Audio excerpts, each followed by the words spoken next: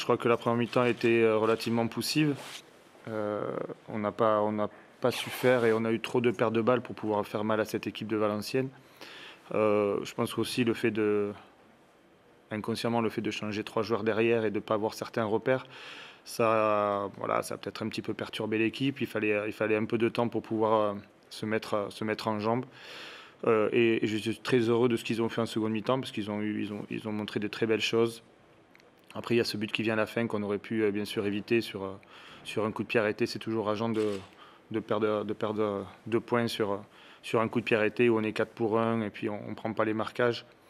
Euh, mais, mais, de ce que j'ai vu sur la deuxième mi-temps de, ce soir, enfin de cet après-midi, euh, il y avait des choses encourageantes tout en sachant bien sûr que je me répète, mais il y avait quand même 3 voire 4 joueurs qui n'avaient jamais joué encore avec nous, donc, euh, ou peu joué avec nous.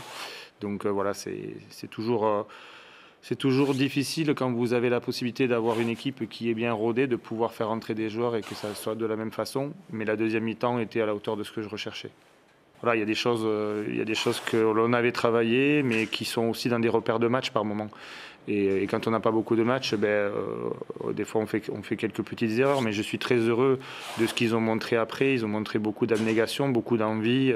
La défense a bien tenu. Après, euh, après c'est un coup de pied arrêté. Voilà, c'est difficile. En fait, c'est ce qui me dérange le plus, c'est comment on l'a pris le coup de pierre été que le coup de pierre été en lui-même. Mais en soi, venir prendre un point ici, euh, bah, c'est pas non plus si mauvais que ça, parce que c'est une, une équipe qui est joueuse, qui a du caractère, qui essaye de faire ce qu'elle peut avec ses moyens, mais comme nous aussi. Et, et voilà, c'est pas, pas si facile que ça. Aujourd'hui, on a, on a un groupe qui est sain, qui, qui, travaille, qui est très travailleur, qui a, qui a envie d'aller de l'avant.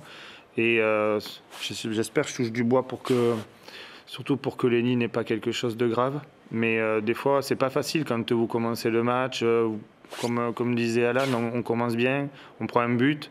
Après, derrière, il faut se remettre à jouer. Il y a la blessure. Il y a des faits qui font qu'à un certain moment, on a l'impression que rien n'est pour nous. pour autant, la mi-temps, j'ai pas voulu parler de la blessure de Lenny parce que parce qu'il fallait laisser les joueurs dans le match et, la réaction a été très bonne en deuxième mi-temps. Et, euh, ça s'est joué à peu de choses pour qu'on ramène trois points ce soir. Ça, m'a, ça m'a, oui, ça m'a, permis de voir certaines choses, mais, j'ai l'impression malgré tout de ne pas être proche de mes joueurs et de pouvoir euh, être avec eux euh, pour, les aider. Pour que, même si, encore une fois, j'ai énormément confiance en mon, en mon staff et ils ont fait un, un très bon travail aujourd'hui, mais mais on a envie d'être proche d'eux. Et puis il y a peut-être des choses qui ne sont pas si faciles que ça à faire passer en, termes de, de, repositionnement tactique.